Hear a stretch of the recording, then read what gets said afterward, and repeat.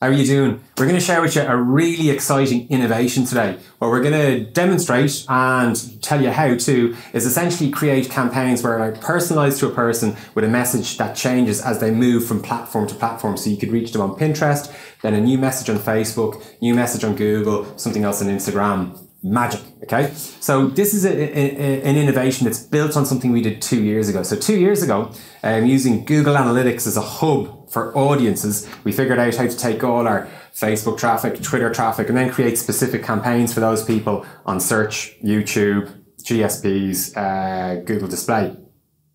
This is really successful. About half the awards we've won in the last few years have been based on this tactic. We always had this question though. So we said, so we figured out how to go from social to search. It'd be amazing if we could do it the other way around, go from search to social. And we had this magic eureka moment in the office there just before Christmas where the innovation bubbled up on both the social team and the search team at the same time and we figured it out. So here to explain to you what can be done and how to do it, uh, here, here's Roisin. Cool, thanks. So yeah, at the end of last year, we had this eureka moment, as Al said. Um, we figured out a way to collect audiences, search audiences in Facebook. So I'm going to try and explain as simply as I can, but um, essentially when you're creating a search campaign, you probably are using the Google URL builder, and this is where you're putting in keywords into like your, your source, your medium, your campaign, for example. So if you take those keywords and put them into Facebook custom audiences, uh, Facebook will build up that audience that you can use then for remarketing or for creating lookalikes from.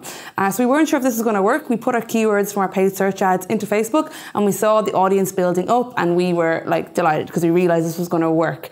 Um, so yeah, that was our real eureka moment when we figured out the way to collect audiences from search to social. It was deadly magic. Mm. And one of our maxims here in Wolfgang Digital is uh, find success and then amplify. So once you, you've found this success and you're getting great results, mm-hmm. how, what, what, questions did you ask yourself to try and build it out further? Yeah, so our next question was could we share audiences from social to social? So let's say from Pinterest to Facebook um, or from Twitter to Facebook. So let's take Pinterest as the example. Um, Pinterest is a really good search engine, visual search engine. So let's say you're looking up recipes on Pinterest and you can collect the you can collect the people who are clicking on your recipes on Pinterest, for example collect them as an audience, take the keywords like, like I showed you earlier on, uh, and put them into Facebook custom audiences. So then you have a great way of targeting your Pinterest clickers in Facebook. Um, and this is amazing for sequential advertising. So if you can start the journey in Pinterest, bring them to Facebook, bring them to Instagram, back to search, to YouTube, to, to Twitter, um, it's a great way of sequential advertising cross platform. Magic. Mm. Wow.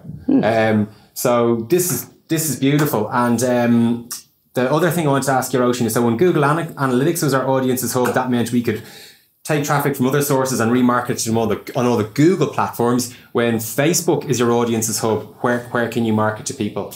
Yeah, so Facebook is obviously Facebook's newsfeed, but it's also Instagram, Instagram stories, uh, Facebook Messenger, and hopefully WhatsApp as well soon deadly. So the, the, the, big fear we had when we were doing this is like audiences is synonymous with that dirty word remarketing. And we're like, oh, if we start doing you know, interacting with people throughout their, their, their internet experience like this, are we going to piss them off? Are we going to piss off internet users? So there's two metrics we looked at to see if this was happening. Number one was social engagement, and we found that social, or no, social sentiment, social sentiment, thank you, uh, was actually up 10% post campaign. Now I'm a direct response marketer. Social sentiment is lovely, but I'm interested in conversion. And the stat that made me fall off my chair was conversion rate for people who've been exposed to cross channel ads was nine times higher, nine times higher than those who hadn't. So that for me tells me this is consumers love this and these are highly effective campaigns. So if you have any questions or you have some thoughts, or maybe you've got some experience of uh, using audiences in an interesting way, we'd love to, to, to, hear from you. Tweet us. Hashtag is Wolfgang Bites, and we're going to be on uh, Twitter for the next couple of days, uh, waiting to talk to you. Thanks very much. Thank you. Bye.